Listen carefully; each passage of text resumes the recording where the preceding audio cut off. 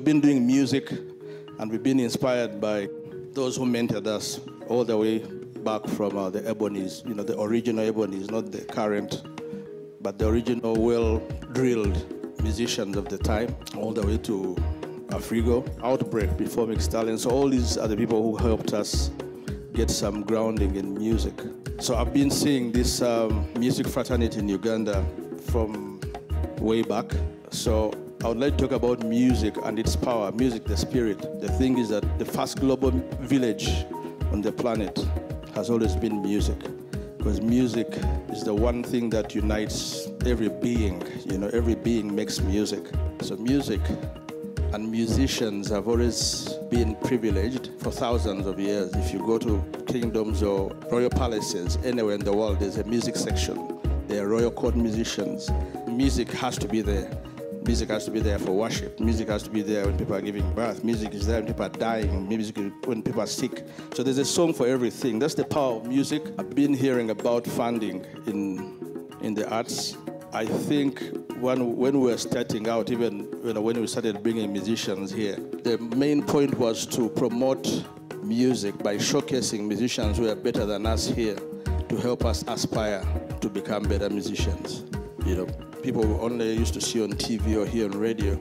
It made sense for us to bring them here. At the time, there was literally zero production ability in this country. We had to fly in everything, which was extremely expensive. Things that are being taken for granted now did not exist here when we started. Everything had to be flown in, from this mixing desk to the drum kit. Everything we had to use had to be at the spec of what the international artists wanted. So people like Andrew Gasira, when he started, you know, with Lucky Dube, that project, everything was flown in from South Africa. A huge cost, which didn't make business sense, but somebody had to do it. So when it comes to art, somebody has to always plant the seed. And not only plant the seed, but also nurture that seed to make sure it grows. Because everything literally comes from the ground. If you do not have any grounding, it's impossible to thrive. So everything starts from the root, ground. So somebody had to plant that seed. Unlike visual arts like uh, cinematography and um, painters, sculptures, people left all sorts of other jobs and all sorts of other things to join music because they could earn a living from it. So you got all this stack of all sorts of quantity, which affected the quality of our creativity in music. I think the people who are visual artists, like you know, designers and painters, retrospectively have benefited from not being funded. They've remained with only those people who are actually called to be artists in their fraternity. They want to be nobody joins. So those who are there are actually there because they're artists. Whether they are earning or not, they, they, they've, they've stayed the course, they've planted their seed, they've nurtured it, and they will harvest that seed many great artists did not earn a thing, Picasso and them people, you know. So I think the other artists have benefited the sculptors. Nobody knows these people. They are not that exposed to us here, but their works are found everywhere else, which, which tells you something. The, the, quality of their work has done the legwork for them.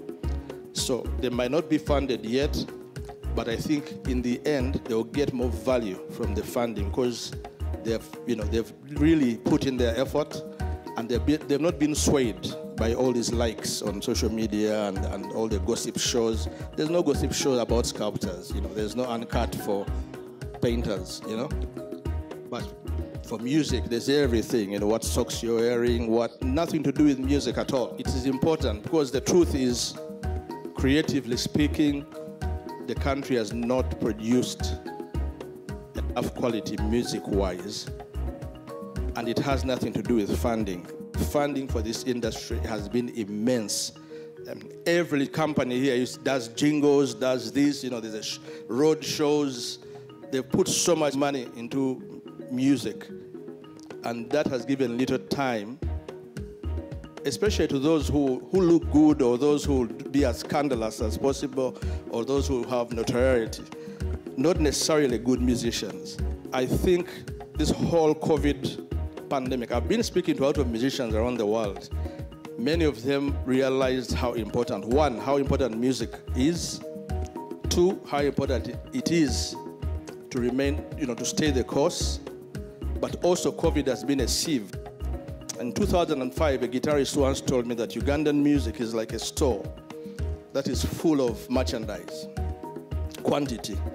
There's, there's, a, there's, there's way too much music. But one day something is going to happen where a sieve will start sieving out. You know? The quality will go through the, the sieve and the quantity will remain and be thrown away. And I think COVID is doing that already for the arts, uh, definitely for music.